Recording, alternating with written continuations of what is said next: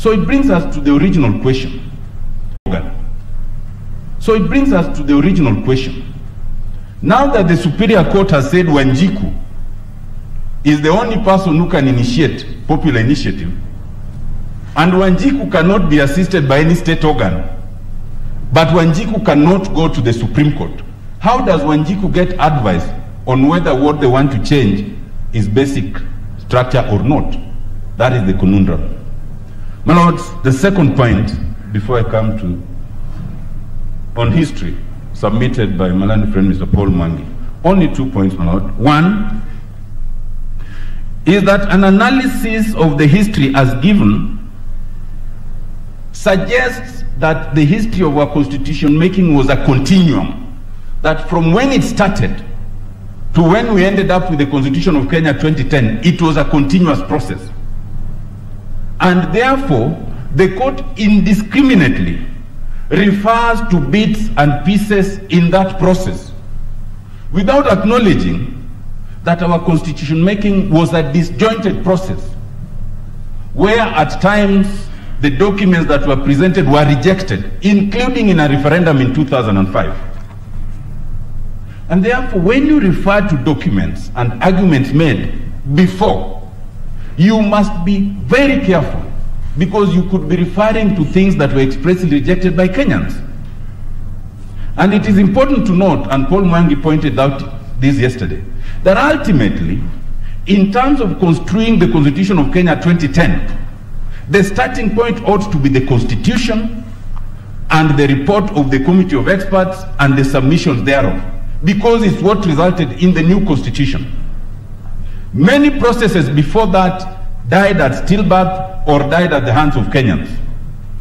And you cannot easily refer to them as if they are what instructed the ultimate text of the Constitution. And the second and last point on it, my Lord, is that the decision intentionally diminishes the role of political consensus and suggests that the document that we have was entirely a result of the decisions of Kenyans. My Lord, just one example. Ultimately, the most contentious issue in constitution making was the system of government, the type of executive we are to have.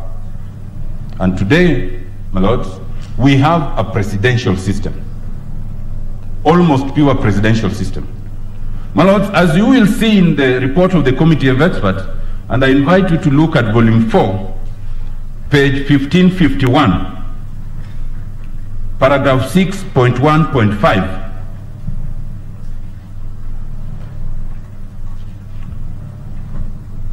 And also page 1604, 8.1.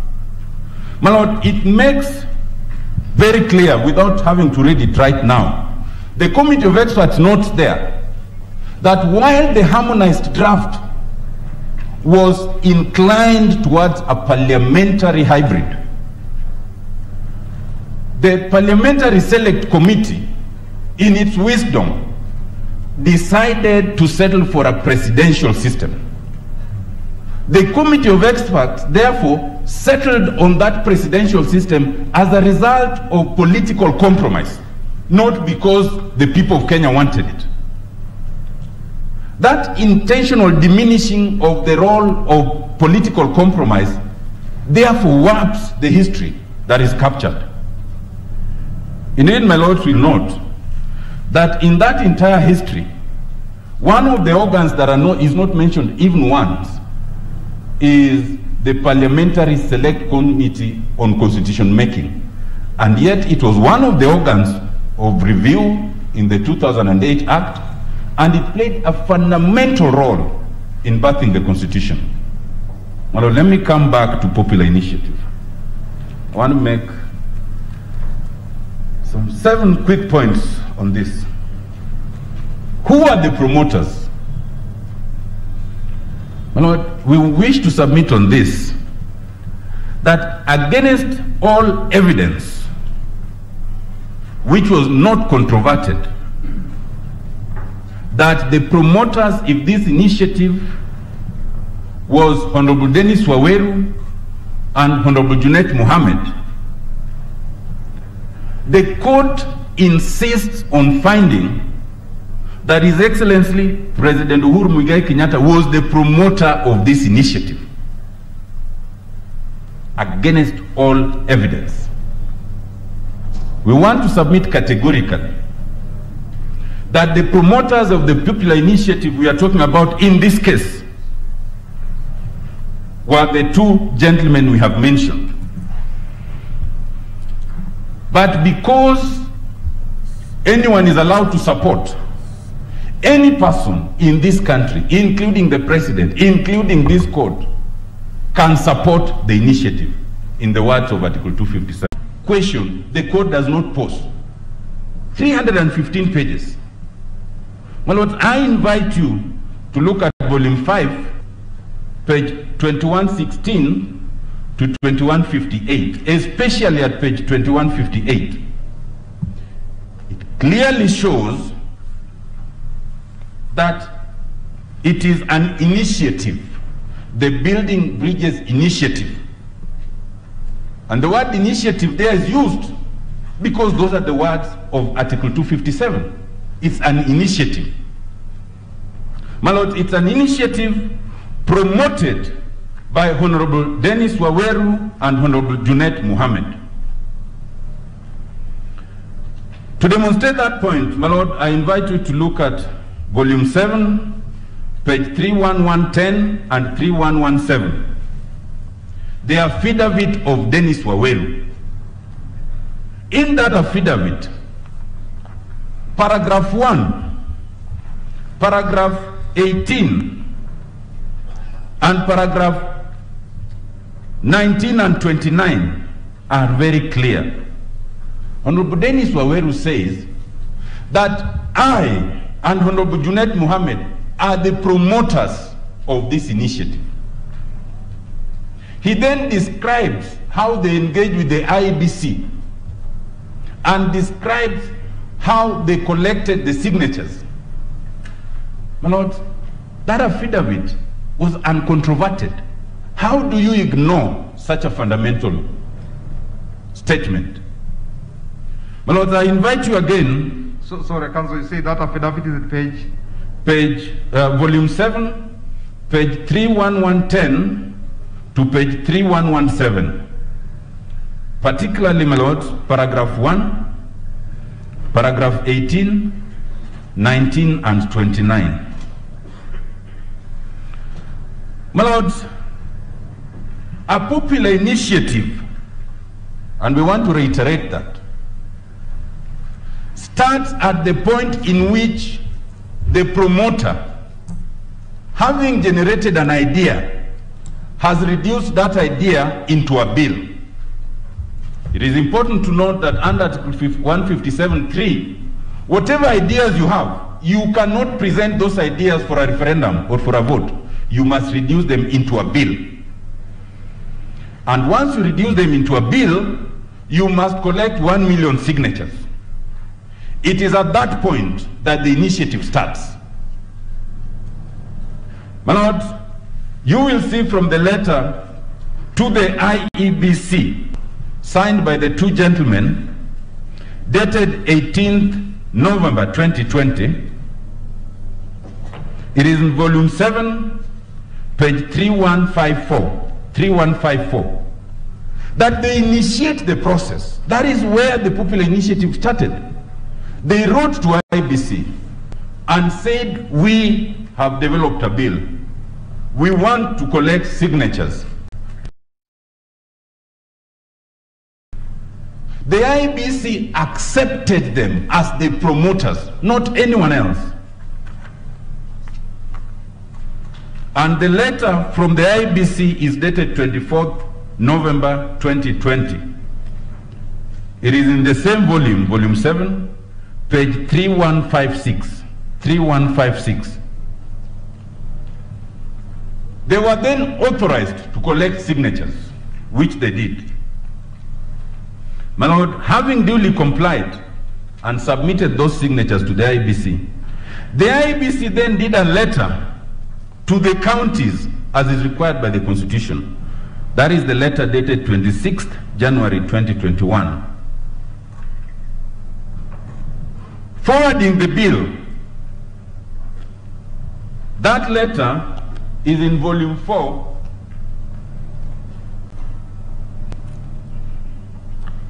volume 4 of appeal, page 1884.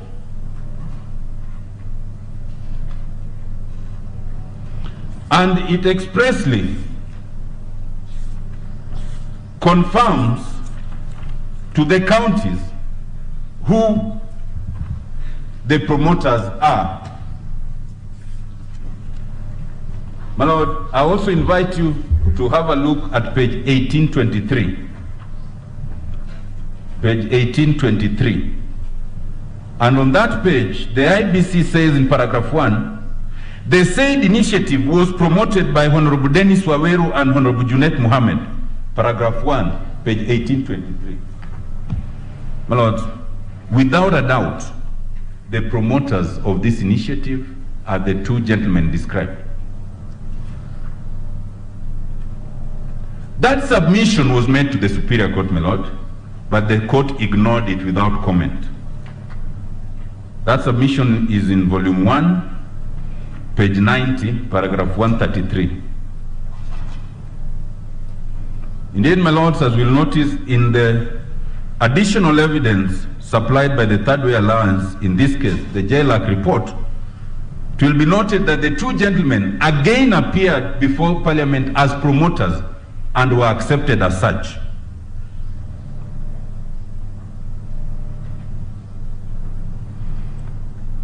My last point on this, my lord.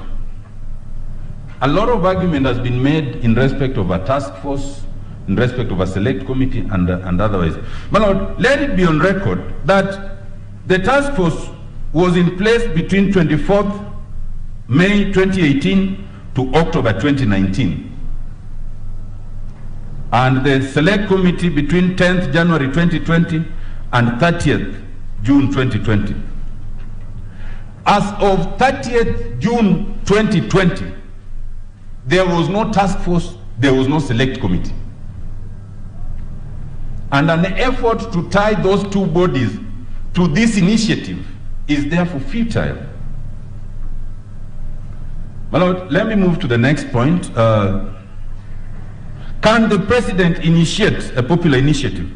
Our position is that in this case the president did not, but nothing in law stops the president from doing that. There are a number of reasons, but I'll move over them very quickly. Uh, other than the fact, and this was submitted by Mr. Karoro yesterday, that in terms of the Constitution, there is nothing on the face of the Constitution that stops the president. But I wish to draw your attention to Article 27 and Article 38.1 of the Constitution. My Lord, Article 27 speaks to equal protection of every person, including the president, equal protection of the law. But more importantly, my Lord, which was not considered by the court, is the political rights under Article 38, 1c. It allows any person and every citizen of the right to campaign for a political party or cause, and the catchphrase is cause you can campaign for any cause. And the issue here, my lord, is that these two provisions are in the Bill of Rights. Are they limited in terms of excluding the president? If they are to be limited, you must come to Article 24. And Article 24 requires that to limit any right, it must be limited by law. In this case, read legislation. Is there any legislation that limits the president from this initiative? The answer is no. If there was to be any legislation, then again the court would be called upon to look at it and determine whether it is reasonable in an open and democratic society. My Lord, my land friend Mr. Karori explained yesterday that the misconception in the judgment is the supposition that the president is in control of parliament, and that is true. It supposes that to be president, you will always be in a party that is majority in parliament. It is a misconception of a presidential system. You can actually be in the minority But it can be worse. You can actually have no parliamentary party because our constitution allows an independent to be president. So, can it be said in fairness that you, as president, your only avenue is parliament where you may not even have a party? That is a misconception, my lord. Especially given the role of the president in terms of national unity and fostering um, uh, unity. Third, my lord, in order therefore to create that distinction and having realized that the president cannot, was not the promoter, the court then coins a term, initiator. That will be found, my lord, in uh, volume 1, page 80, paragraph 104 and 105, and in the findings, Roman 8. My lord, there is no such word as initiator in Article 257. There is only the promoters and the supporters. And with respect, this word then is used in the judgment to camouflage the difficulty in identifying the promoters. My third point, my lord, the process. Sorry, of- and I want you to know that you have uh, just like four minutes to go. If you want senior counsel Kambuni to take about 30 minutes. Well, we had already agreed that senior counsel Kambuni will take 20 minutes, between Okay. 15 and 20. Okay. So I'll run through the rest very quickly. My lord, Before you do that, before Sorry. you, you run, uh, Yes. do you want to comment about the question of uh, conflict? It, it is. Yes. Yeah. I am happy to make that clarification, my lord. The court finds that the role of the president as initiator will be in conflict because after the document is passed, it then goes to the president. With respect, my lord, that is an erroneous analysis for two reasons. One is that the role of the president at that stage is not substantive, it is ceremonial. The constitution is clear that once it leaves parliament for a popular initiative, whether parliament endorses or not, as long as it has con- you know, aspects that require referendum, then it will be forwarded to the IEBC. So there cannot be a conflict where your role is ceremonial in that situation. But also, my lord, secondly, because for a popular initiative such as this that has clauses requiring a referendum, it is not the president that determines whether it becomes law. It is the people. So the president has no meaningful role in this process because it goes to the people in a referendum. And therefore, to create an appearance of conflict, my lord, is wrong. My lord, let me talk about the process of popular initiative. Uh, just a moment, please. Yes, sorry. Uh, thank you, Senior Counsel. I'm just wondering, you say the judges came up with a term called initiator. Yes. Uh, did they identify the basis upon which they said he initiated? My lord, with respect, what the Superior Court does is analyze a history that is not relevant to the issue before the court. No, no, uh, that's okay. About relevance. And they do not, Counsel, they do not, they don't say why they call him initiator they do not, sir. at all? They do not. They just introduce that term in the course of the analysis. Okay. Counsel. uh, yes, my lord. Yes. Now, uh, there were submissions made yesterday uh, about the background to the popu- popular initiative clause. Yes, lord. And one that was made was uh, that there was a culture of hyper amendments Yes, in the uh, pre 2010 constitution. Yes. Now, the argument you made that any person, including a member of the executive, can be fall in the bracket of the people under Article 257. Yes, lord. And you have made the further argument in respect to the political rights of members of the executive. Yes, indeed. Now, given, and I've looked at your submissions, in which you also invite us to look at that historical, historical perspective. I think it is point 3.3.8. Uh, given the history of and uh, the reasons behind Article 257, when a member of the executive decides to be a promoter under Article 257, must he then cast aside his official or formal uh, clothing as a member of the executive? I.e., would there be a restriction? Can he promote in his capacity as a member of the executive, or must he first step aside in respect of, not from the office, but express that view as a politician, whether through his party or if he's an from an independent candidate as a politician? Thank you. My Lord, in our analysis, and we've captured this in our submission, the route of popular initiative was a route that was coined to be an alternative to parliament, where you had or you could have a rogue parliament that becomes a stumbling block to meaningful reforms that are helpful to the people. On its face, there is nothing to suggest, not even in the history, and I invite you to even look at the report of the Committee of Experts, that it is a route that is unavailable to the executive. There is nothing on the face of it or on history that excludes the executive. And it is for good reason, my lord. You can have a president who is popular and is elected by the people. But you can have a parliament, and it happens in our counties, a parliament that is hostile to that president. And if that president wants to make changes that are helpful to the people, how do they do it then?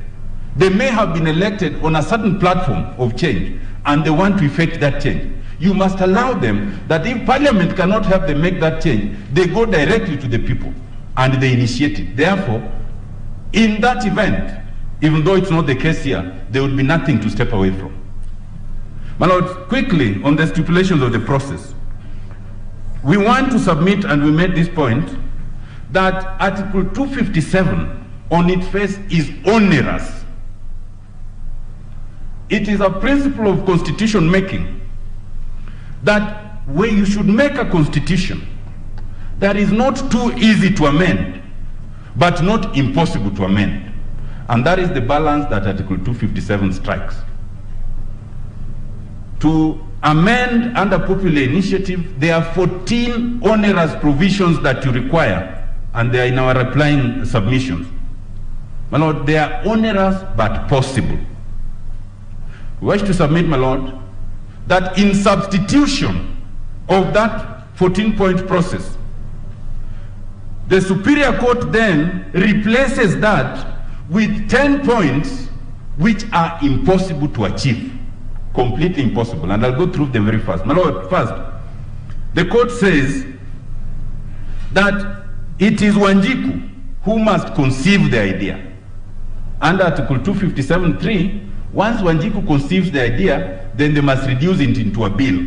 That ordinary person must now write the technical bill without assistance of the Kenya Law Reform Commission, the Attorney General's office, Parliament, or anyone. Wanjiku must write that bill. Having written that bill, then Wanjiku must translate that bill into English, into Swahili, into Braille, into Kenya Sign Language, and into all the indigenous languages. Those are the words of the judgment. Wanjiku must translate those. Even the Bible has not been translated into all the constitutions. My Lord, even when we were writing the constitution that is now before us, we only translated it into English and Swahili. But the court now says, translate it into all the indigenous languages. And you know, my Lord, we've never even settled how many indigenous communities we have in this country. Some say if it's tribes, we have about 44. But if it's indigenous communities, they're about 76. So Wanjiku is supposed to do all this. Then Wanjiku, my lord, thirdly, must pro- make sufficient copies to distribute. My lord will note that the judgment says that the committee of experts did not make sufficient copies. You will see that in volume 4 of the digest, page 1566 to 1567. And yet, my lord, the committee of experts made 6.9 million copies. So Wanjiku must make more than 6.9 million copies. My lord, that is not enough. Wanjiku must then do civic education. That is the fourth stage. And given the earlier finding, that civic education must also be in the languages that is understood by those people. This same Wanjiku, number five, will then present this bill to the IEBC as a promoter. But before presenting it, there, there's another requirement. One, Wanjiku must ensure that the IEBC has undertaken national registration of voters. Because the court finds that you cannot do a referendum before IEBC does that. Wanjiku must also ensure, secondly, on that question, that they seek the opinion of the court whether the amendments are basic structure or not. And I spoke to that earlier. Wanjiku must ensure, thirdly, that in seeking that opinion, and without either being national government or county government or state organ, they somehow get the audience of the Supreme Court. It is not stated how. But my lord, that all in terms of presentation to the IEBC. There's a sixth hurdle. Once it is presented, and you know the bill has been generated by Wanjiku, and there is no obligation for IBC to, ha- to help Wanjiku anywhere, then Wanjiku must provide sufficient copies of the bill, sufficient enough to be distributed to the 47 counties. Enough for those counties to also undertake public participation. And then Wanjiku, number seven, will then traverse the 47 counties, talking to them and persuading them, so that at least 24 out of 47 can endorse the bill in order to move forward. That is the seventh step. If Wanjiku overcomes that, then now the bill is sent to the two houses of parliament, the Senate and the National Assembly, and that's the eighth step. At that point, Wanjiku must engage with the two houses during their public participation to explain and undertake public participation and persuade them to endorse it. Having done that, if it passes or fails, Wanjiku must then engage with the president and the IEBC in terms of the timelines that uh, are provided. And then lastly, Wanjiku must then traverse the county and persuade us to vote yes. My Lord, we wish to submit that those prescriptions are utopic.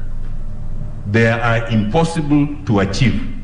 They supplant what is in the Constitution for what is impossible to achieve.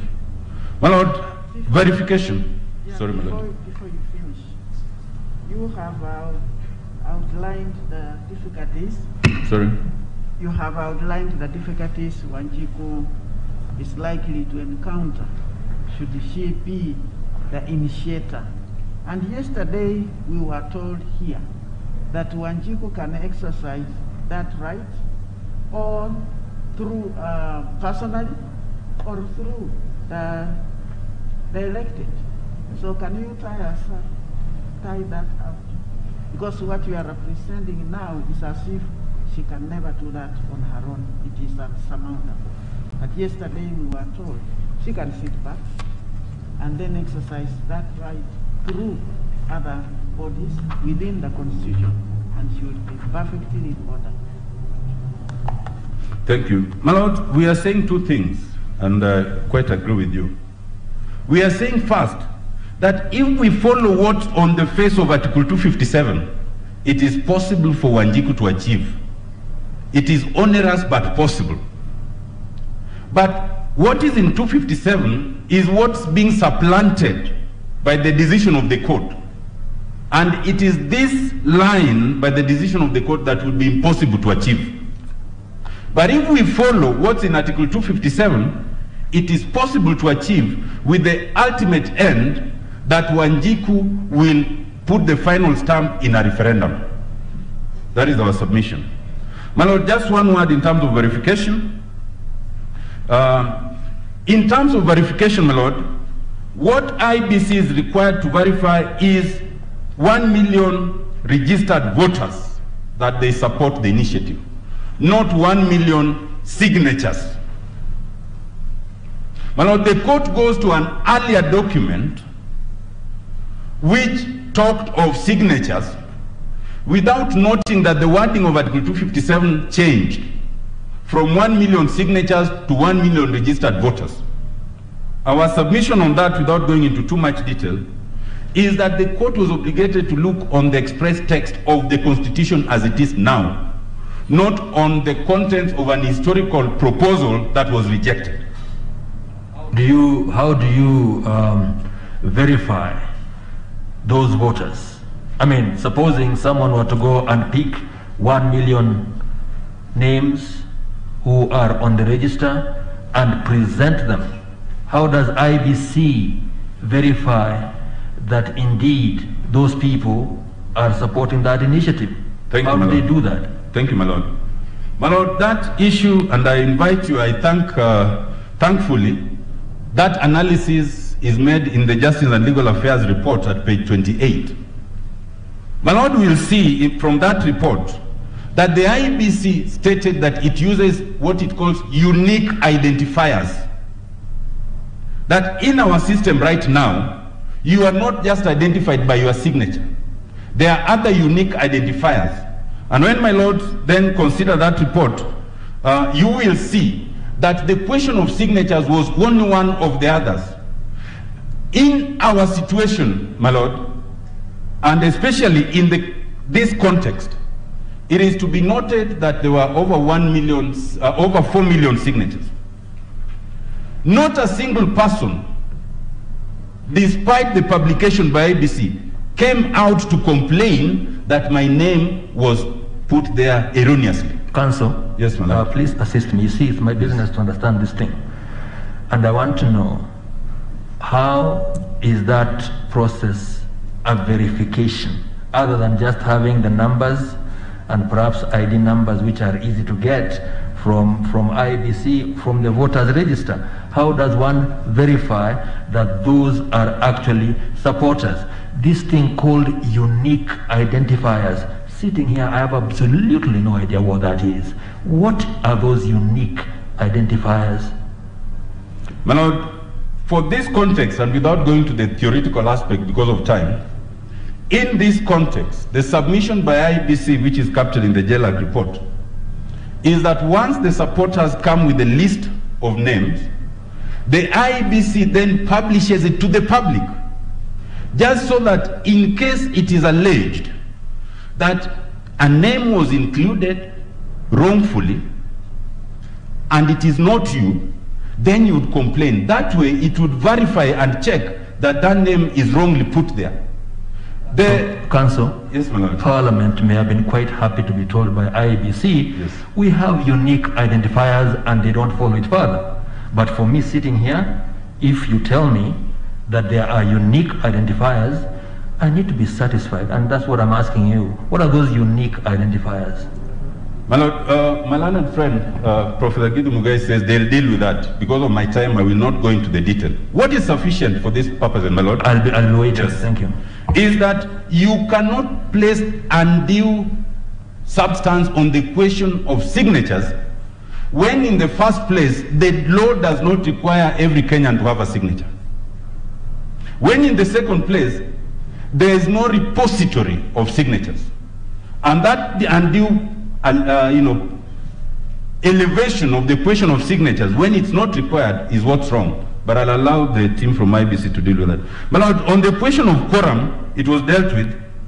All I wish to say on it are two quick things. One, that my lord, you cannot elevate a provision in a schedule of an act to essentially amend the constitution by providing a higher minimum number of commissioners than is provided in the constitution.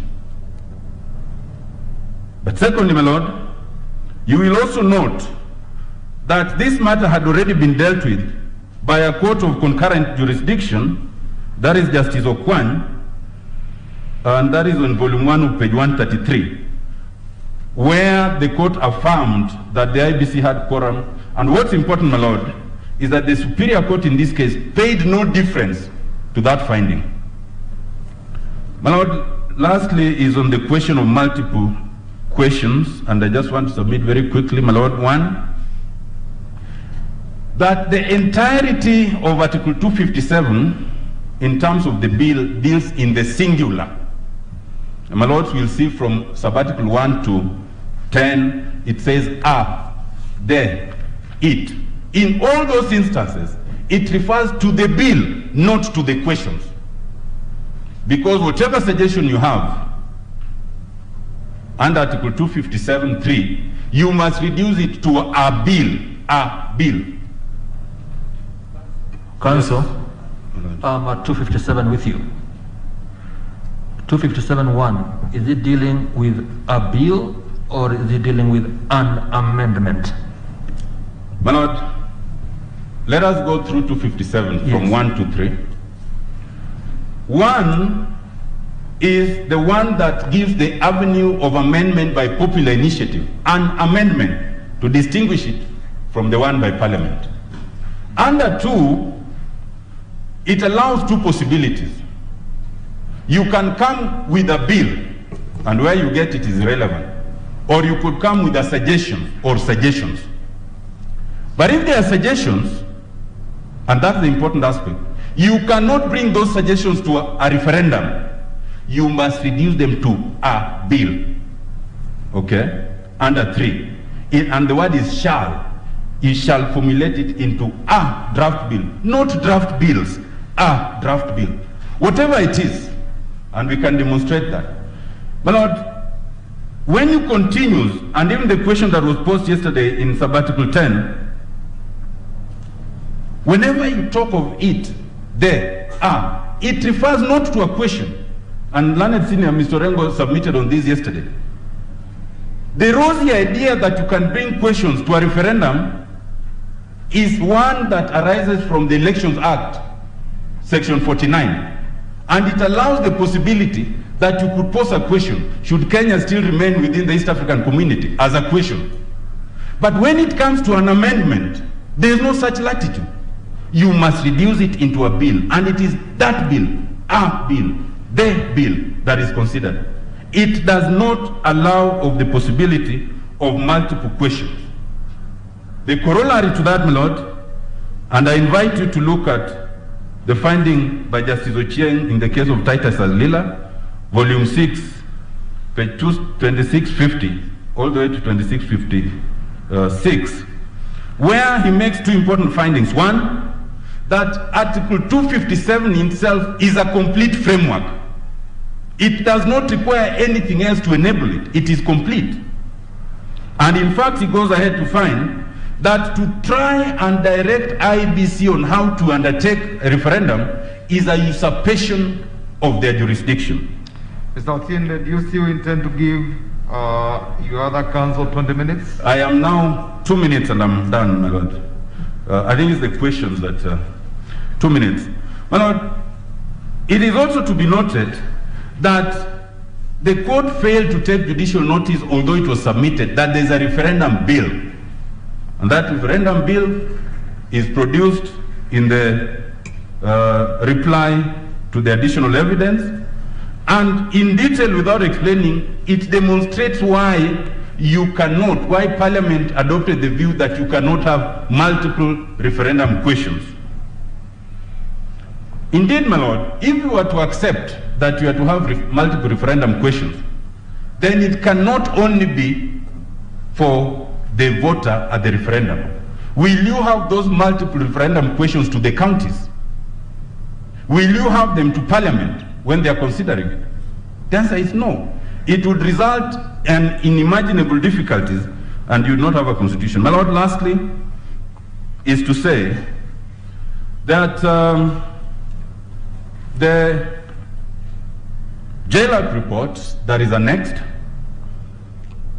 is not a finding as submitted by the, uh, by the respondents, but as shown on its face, they are notes which were meant to assist members of parliament in making a determination whether to vote yes or no or no. And they are notes that contain the majority view of parliamentarians and the minority view. And it is a document that did not require and was not adopted by parliament. It is of no probative value for this discussion, except for academic purposes.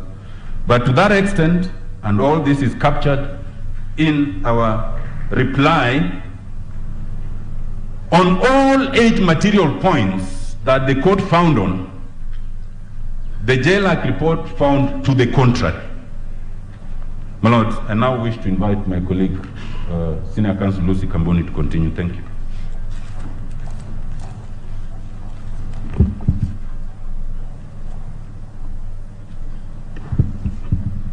Um, uh, my ladies, thank you very much. Firstly, it's a plea for five minutes because I have been gesturing there. I thought um, your lordship will ask me whether